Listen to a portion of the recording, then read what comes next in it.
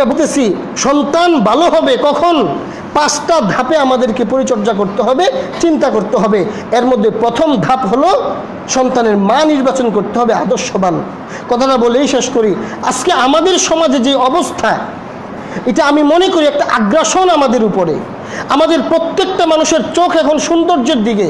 দেখেন সুন্দর কাকে বলে? সুন্দর কি? চামড়া সাদা হওয়ার নাম সুন্দর? চামড়া অবস্থার প্রেক্ষিতে আবহাওয়ার প্রেক্ষিতে এবং মাটির অবস্থা অনুযায়ী মানুষের চামড়া সুন্দর হয়, ফর্সা হয়, কালা হয়, শ্যামবর্ণ হয়। আমাদের এই দেশে যাকে বাংলাদেশ বলা হয়, বাংলাদেশ, পাকিস্তান এই বার্মা সহ এই অঞ্চলটা, বাংলাদেশ, ভারত, বার্মা এই অঞ্চলটাতে আমাদের দেশের মানুষের মূল কালার হইল শ্যামলা। এটা হলো মূল কালার। আমেরিকা যারা পাশ্চাত্য দেশগুলোতে থাকে, ওদের মূল কালার হলো সাদা। এখন ওরা যদি পছন্দ করে যে আমরা সাদা ভালো লাগে না, আমাদের কালো দরকার, এটা ঠিক না।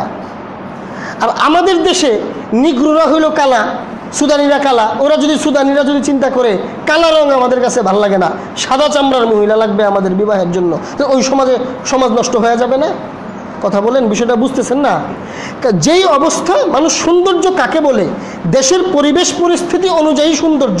তো সুদানিরা তো কালা মানুষ বিয়ে করতেছে, তাদের সমস্যা হয় না। পাশ্চাত্যরা, আমেরিকারা, এরা সাদা চামড়ার মানুষ ব্যবহার করতেছে, সমস্যা হয় না। সমস্যা আমাদের দেশে কেন? আমরা শুধু সাদা চামড়ার দিকে কেন? যেখানে সাদা চামড়ার মানুষ কম। এটার মূল যে কারণ, দুইটা কারণ আমি খুঁজে পাইছি। আমার ব্যস্ততা বা সময়ের স্বল্পতার কারণে আমি জরিপটা নিয়ে আসতে পারি নাই। নাহলে জরিপ আপনাদেরকে দেখাইতাম। মূল সব বিশ্বাস করতেন আপনারা।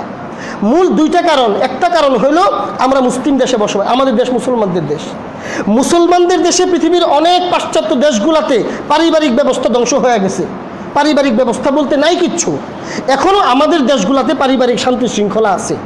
এই জন্য আমাদের দেশগুলাতে আইসা তারা আগ্রাসীভাবে তারা এটা অনেক দিনের আগের চিন্তা। তারা বিভিন্ন মডেলিংয়ের মাধ্যমে, নাটক সিনেমার মাধ্যমে, তারপরে বিভিন্ন অ্যাডভার্টাইসের মাধ্যমে আমাদের সমাজের মানুষের অন্তর এটা বুঝাইতে সক্ষম হয়েছে যে সাদা মানি সুন্দর বিবাহের ক্ষেত্রে। সাদা মানি সুন্দর। এই জন্যে আমাদের সমাজে যেন অবস্থা, সামাজিক, পারিবারিক অবস্থা যেন নষ্ট হয়। এই জন্য কী হয়েছে? আমাদের শ্যাম বর্ণের যে সমস্ত মেয়েরা আছে আমাদের পরিবারে, এগুলো আপনারা বুঝবেন। আপনারা অনেকেই কষ্ট করতেছেন এগুলো নিয়ে। আমাদের শ্যাম বর্ণের বাচ্চারা যারা আছে, এই বাচ্চা, মেয়ে বাচ্চাগুলা বড় হয় নিজেকে ছোট মনে কইরা। তার বড় বোন সুন্দরী, সে নিজেকে ছোট মনে করে। এই ছোট মনে করে করে সে বড় হয়।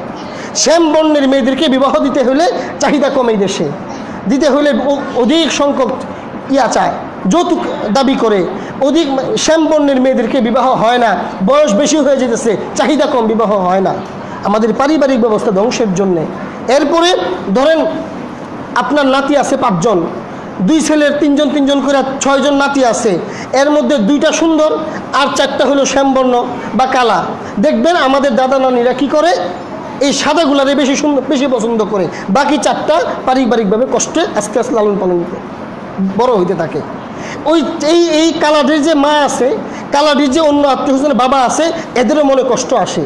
তখন এই এই বাচ্চা যেই বাচ্চা কালা হওয়ার কারণে অথবা শ্যামবর্ণের হওয়ার কারণে তার দাদা আদর করে না, দাদি আদর করে না, নানা নানি আদর করে না, এই তার বাবার প্রতি, এই সন্তানের বাচ্চা, বাবা, তার বাবার প্রতি একটা অনীহা সৃষ্টি হয়, মায়ের প্রতি অনীহা সৃষ্টি হয়, ফুফুদের প্রতি, বাচ্চার ফুফুদের প্রতি অনীহা সৃষ্টি হয়, তা তখনই সমাজের মধ্যে পারিবারিকভাবে গণ্ডগোলের সৃষ্টি হয়। এটা কখন আসলো আমাদের সমাজে? এই সাদা চামড়াকে বেশি পছন্দ করার প্রবণতা কেন আসলো? একটা কারণ তো হলো এইটা পাশ্চাত্যরা আমাদেরকে দেওয়া গেছে। দ্বিতীয় কারণ হলো তাদের ব্যবসা।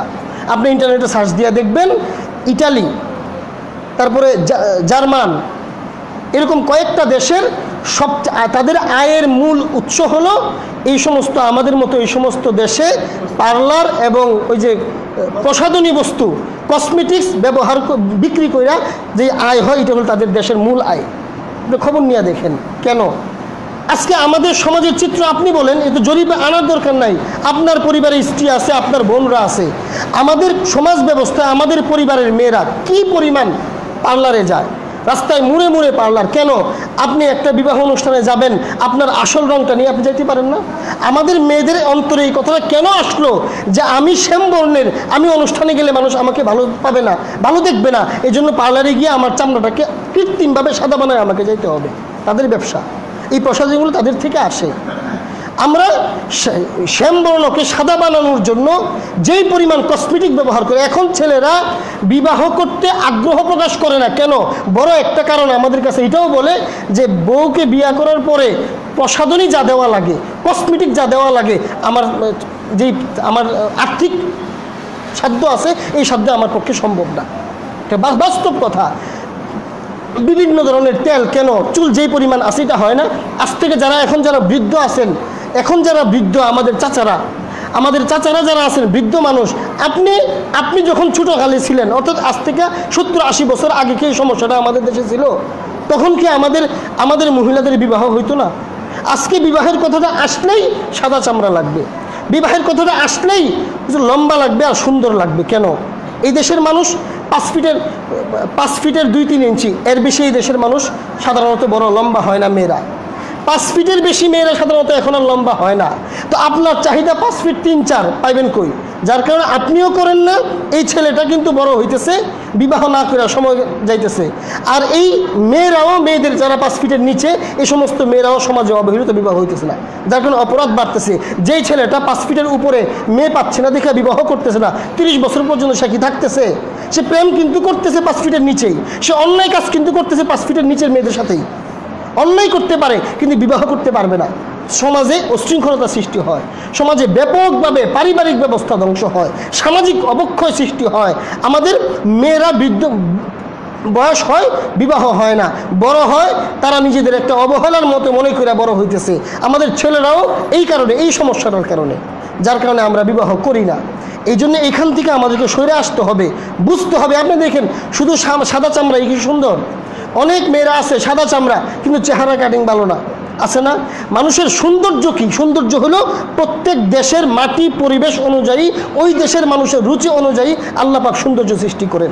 রং, তার গঠন, তার সুন্দর। চীনের মেয়েদেরকে দেখলে আপনি কখনোই পছন্দ করবেন না। তো ওই সমস্ত মেয়েদের কি বিবাহ হচ্ছে না? নিগ্রু মেয়েদেরকে দেখলে আপনি কখনো বিয়ে করবেন না। কখনোই বিবাহ করবেন না। এর মানে কি তাদের বিবাহ হয় না? আল্লাহ পাক ওই অঞ্চলের মানুষকে এইভাবেই দিছেন, তাদের রুচি এইভাবেই রাখছেন। কিন্তু কৃত্রিমভাবে আগ্রাসনের শিকার হয়ে আজকে আমাদের পরিবার ব্যবস্থা ধ্বংসের দিকে, সমাজ ব্যবস্থা ধ্বংসের দিকে। এই জন্যে শেষ কথা এটাই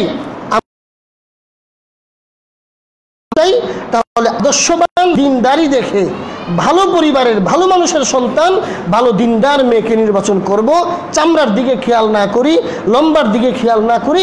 আল্লাহ রসুল যেভাবে বলছেন, ওইগুলা যদি পাও তো পাইলাই, আর না পাইলে দিন যদি পাও, শান্তি পাইবা।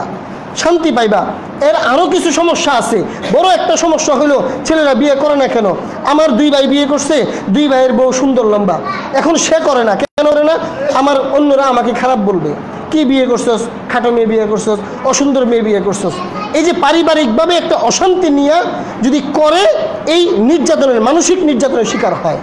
আর যে না করলে এই সমস্যার কারণে করে না, ছোটো মন নিয়ে বড় হতে থাকে।